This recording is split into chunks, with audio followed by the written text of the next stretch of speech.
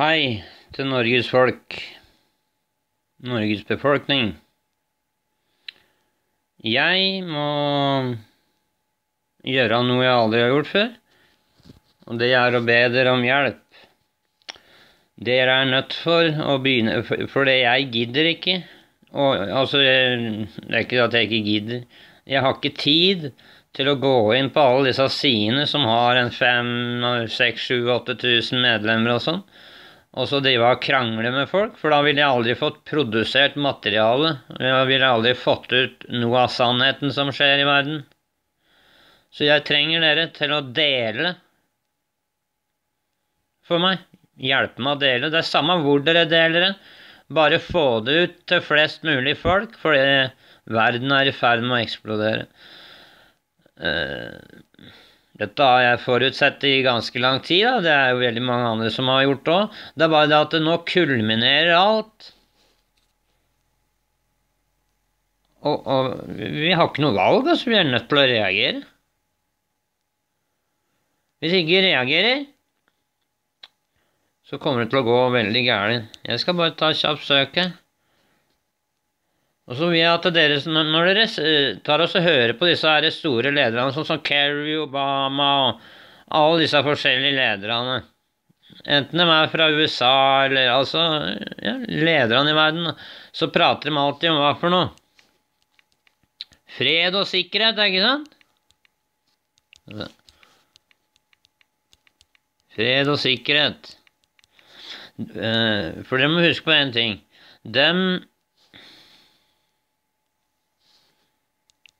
Uh, peace and safety, de sier da.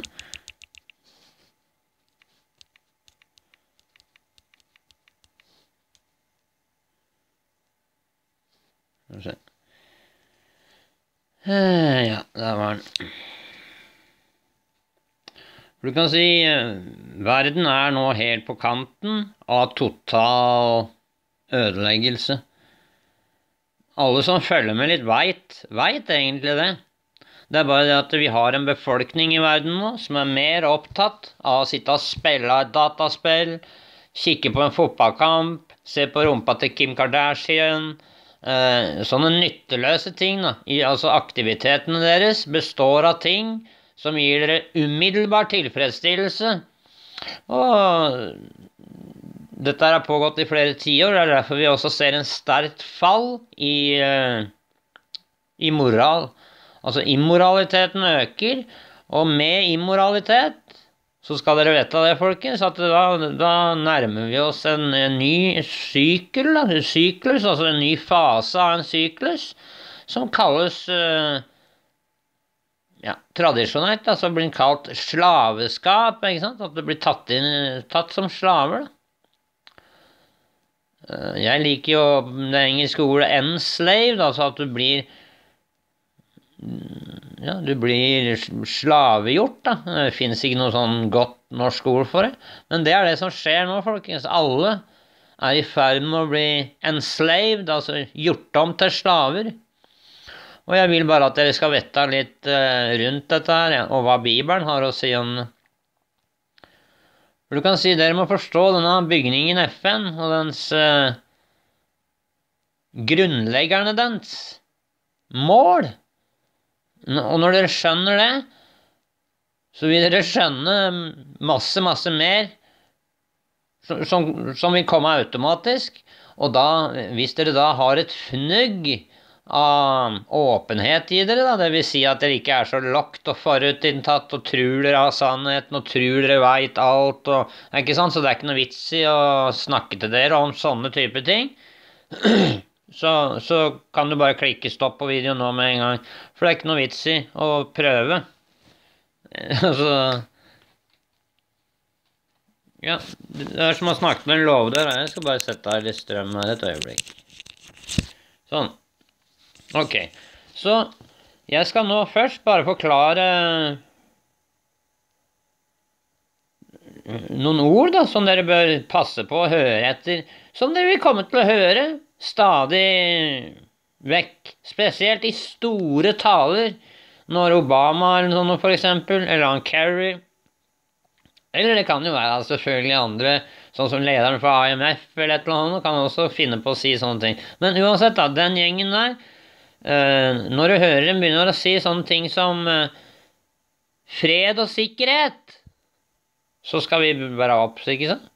Og det, det hører jo de sier hele tida. Fred og sikkerhet. Og det står her. Pål uh, blir guida av Gud, ikke sant? Gud er ganske lur. Og han uh, står utenfor tid, så han ser hva som skal skje før det skjer. Det er derfor han kan si sånne ting til oss. ikke sant? At da, jeg forteller dere før det skjer, hva som skal skje. Jeg veit ikke hva dere innbiller dere, altså dere, mange, mange, av dere der ute, som uh, bare kan forkaste da, all menneskelig uh, oppsamling av informasjon opp gjennom mange tusen år, faktisk, og så bare forkaste det som om det ikke skulle vært, uh, vært dopapir engang. Dere er uh, fryktelig ignorante, det vil si dere er kunnskapsløse. Det er ikke noe nedverdigende med det ordet. Det, er, det betyr bare at dere kan veldig lite. Og når du kan veldig lite om hvem du er og hvor du kommer fra og sånne type ting, så mister du identiteten din. Dette er veldig godt orkestrert, for det er akkurat det etablissementet rundt omkring i verden vil. Og det er designa for å ta fra dere deres egen evne til å tenke egne, altså produsere egne tanker sjøl, ikke sant?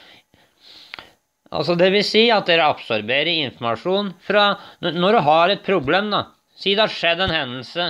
Det har gått av ei bombe, og så blir det tre-fire parter involvert som, blir, som skylder på hverandre, f.eks.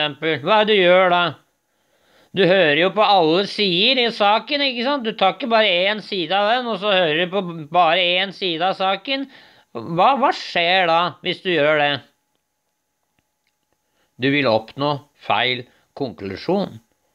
Du, du, du, vil aldri nå riktig en, en, en, en, riktig konklusjon. Du vil aldri få sannhet. Du vil aldri erverve deg ny sannhet.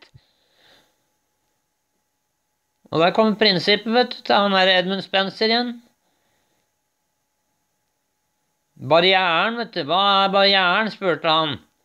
Som er garantert å holde mennesket i evigvarende ignoranse. Hva er den barrieren? Det er overbeviselsen om at dere allerede har sannheten. Dere har ikke det, skjønner du. Verden er betraktelig annerledes enn det de har lært oss opp igjennom ja, i hvert fall min tid på skolen og sånn. Faktisk så vil jeg si at uh, mesteparten av det de lærer, er løgn. Når de skal si fred og sikkerhet, så skal plutselig ødeleggelse komme på dem som fødselssmerter på en kvinne med barn, og de skal ikke unnslippe, tru meg. Dette kan altså kryssreferere med andre skrifter for å få Oi sann. Altså, det, det, er ikke noe vanskelig å finne denne informasjon her. Og, og, og de kommer til å bli straffa med evigvarende ødeleggelse. Uh, ja, på grunn av nærværet da, til Herren Gud, ikke sant? Og fra majesteten av Hans makt, står et annet sted. Og Tessalonikeren, ja. Så dere veit hva slags eh, stikkord dere skal høre etter. Og dere som tror at han allerede er her, og at han sniker rundt og hører på Benny Hinn når han sier at eh, å, nå kommer Jesus til å vise seg i mange forskjellige kirker rundt omkring og sånn. så skal dere være klar over at han, han ljuger.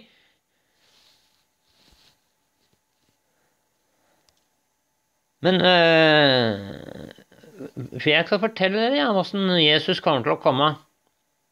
Han kommer til å komme i skyene, og han kommer til å være som når lynet går fra vest, du, helt fra vest og så over hele himmelen, ikke sant, når det er klart hele veien over til øst. Sånn kommer det også til å være når eh, han kommer tilbake, og alle øyer kommer til å se ham. Og han kommer til å komme som, eh, på dem som ikke er klar over denne informasjonen, så kommer han til å komme på dem som en tyv, står det. Det betyr både både at han kommer til å komme overraskende, og at dere da, dere som da ikke er klar over disse tingene her, og som neglisjerer den, som ikke gidder å bry dere om han For det, det er hans største sjalusi, skjønner du, er at han, han, vil bli anerkjent. ikke sant? Akkurat som en far vil bli anerkjent, eller mor vil bli anerkjent fra ungen sin. De vil ikke at ungen sin skal stå og si at 'nei, jeg kjenner deg ikke, jeg, mor'. Du er ikke mora mi, eller du er ikke faren min. Det er det dere gjør i effekt, bare sånn at dere er klar over. Så øh, nøkkelen til å unngå alt dette her er veldig enkelt. Det er andre krønikerne, blir det 714. For vi trenger ikke alle dere som ikke tror, heller, skjønner du. Det er det som er så flott. Gud er god, ikke sant? Det kan vi kan jo gå inn. Kan vi se på den sammen? Sånn at dere ikke tror jeg ljuger. Alle tror jeg ljuger om alt mulig, så bedre at dere kan se det. For hvis mitt folk, som er kalt med mitt navn, Guds navn, ikke mitt navn, men Guds navn, ikke sant? Og hva er det? Det er Jesus Kristus først, og så kan du, når du er blitt kjent med Han, så får du Faderen og Den hellige ånd. Altså, men ok, hvis mitt folk, som er kalt ved mitt navn, vil ydmyke seg selv og be og søke mitt ansikt og snu fra sine onde veier, så vil jeg høre fra himmelen, og jeg vil tilgi dem deres synder, og jeg vil helbrede deres land. Jeg vet ikke hva det ordet 'land' er. rett? Ja, hele jorda. Eller landet, nasjonen. Ja. Altså fricking er, altså. Nå får dere bestemme dere for hva dere vil. For at dette her begynner å bli latterlig nå. Og dette er ikke gøy lenger, altså, når, når russerne og USA driver og tar ut hverandres uh, proxy-hærer. Og ikke nok med det, men når de da begynner å innimellom strike hverandres spesialstyrker og sånn, så er det rett før det smeller eh, atombomber rundt omkring. Og det må dere skjønne, ikke sant? Det er ikke meninga å sitte her og hyle til dere, men dere er, det, altså, dette er farlig, ikke sant? Hvis dere har unger og sånn, så bør dere jaggu bry dere om sånt nå. Så hvis dere har barnebarn, hva som helst Jeg er heldig, jeg, da, for å si det sånn, som eh, ikke har unger. Så, så jeg, skulle bare ønske Jesus kunne komme fortest mulig, sånn at uh, jeg kunne kommet meg vekk fra dette helveteshølet som blir kalt en jord, som en gang var et, et, veldig flott sted å være, men som har degradert seg noe voldsomt pga. immoralitet som for, for øvrig er designa for å dumme deg ned. Det er mainstream. Bare søk det opp hvis dere gidder, da. Dere kan bare søke uh, The Dumbing Down of America, eller ja, mm, ja mm, Ta den, du, så finner dere sikkert litt.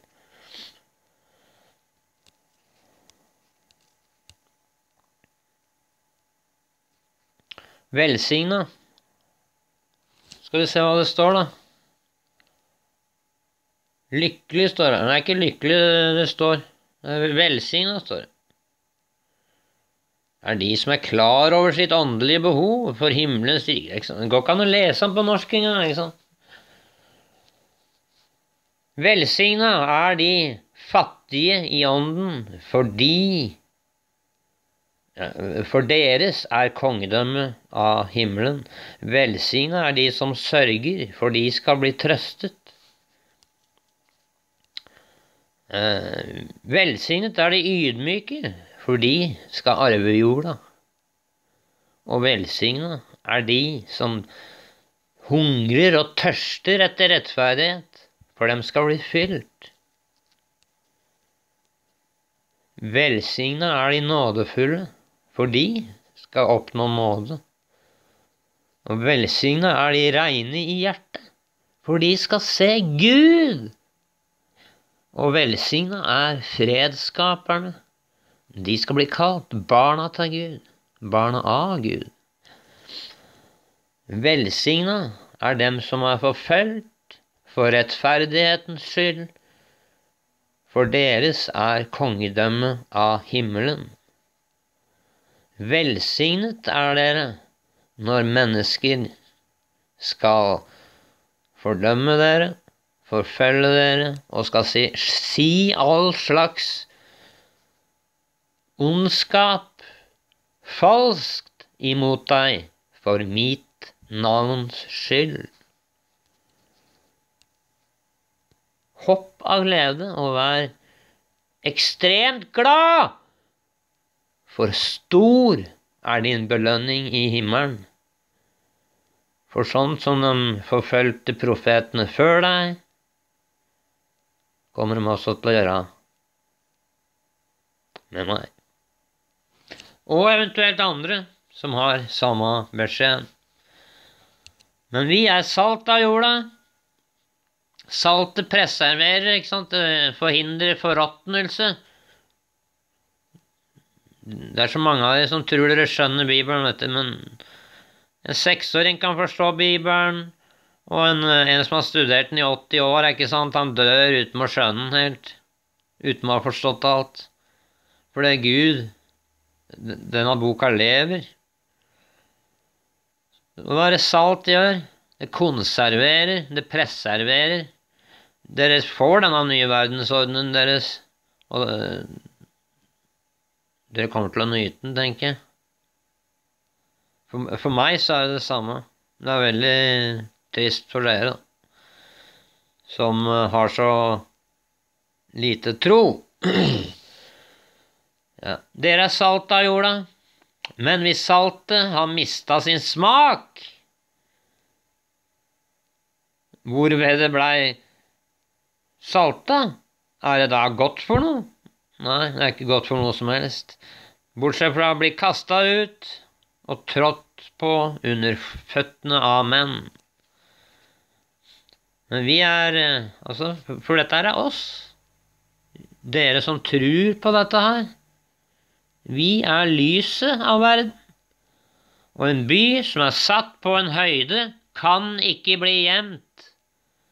Og så ikke fly rundt, ikke sant, og gjem dette lyset under en uh, bussel, jeg vet ikke hva er. det? Ja, en sånn derre Sånn som de uh, målte opp hvete i eller noe. En slags måle, målings... ja Kanne, da, eller hva man skal kalle det. Bøtte. Kall det hva du vil. Men Altså, du setter ikke lyset ditt eh, Du, du gjemmer ikke lyset ditt eh, under ei seng eller noe, ikke sant? Men du setter det på bordet, sånn at det gir lys til alle som er inne i huset, ikke sant? Sånn at alle kan se! Dette er veldig enkelt, folkens. Dere er bare så fryktelig late at det er helt latterlig. Men uh, Jeg prøver i hvert fall å la mitt lys skinne, for lyset er sannheten. Han er veien, sannheten og livet. Og hvis dere ikke klarer å håndtere sannheten, så har dere et problem. Har dere et problem med Guds ord òg, da? Sånn som det opprinnelig var, textus receptus, så har dere også et problem. Hvis dere tror at eh, Jesus og kongedømmet og alt altså, A-millennialister, altså dere tror alt er oppfylt, da er dere ikke bare uopplyste, men dere er dumme i tillegg. For det, Bibelen forklarer jo dette her veldig, veldig lett hvis dere bare gidder å lese den. Men jeg skal være ærlig, da. Det, tok, eh, det krever at du er veldig grundig da, for å klare å skjønne det. Så bare la lyset deres skinne, folkens, dere som har eh, sannhet og rettferdighet i dere, sånn at andre kan se det, står det her. Og så kan vi glorifisere vår Far i himmelen.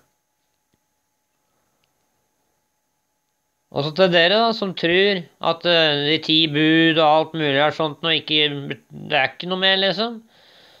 Tru ikke at jeg er kommet for å ødelegge loven eller profetene. Jeg er ikke kommet for å ødelegge, men for å oppfylle.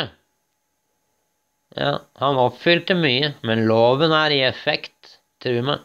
Vet du hvorfor? Fordi du kan bare du kan teste det nå med en gang. Bare gå og så stæl et eller annet, og så se du, om, om, du føler om det er riktig eller gærent. For vet du hva? Han, han sier det sjøl inne. Jeg skriver loven på deres hjerter. Ikke en jot eller en tittel, altså vil si en prikk over i-en eller en kryss på t-en, skal på noen måte forsvinne fra loven til alt blir oppfylt. Konsumert, tenker jeg. Ja, var. Ok.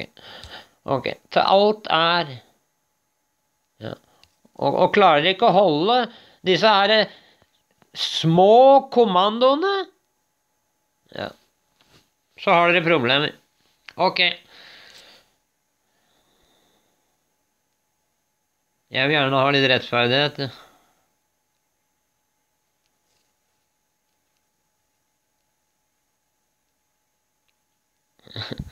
Og ja, det er stor grunn til å sørge for verden om dagen. Vær velsigna, folkens. Jesus Kristus hellige navn. Amen.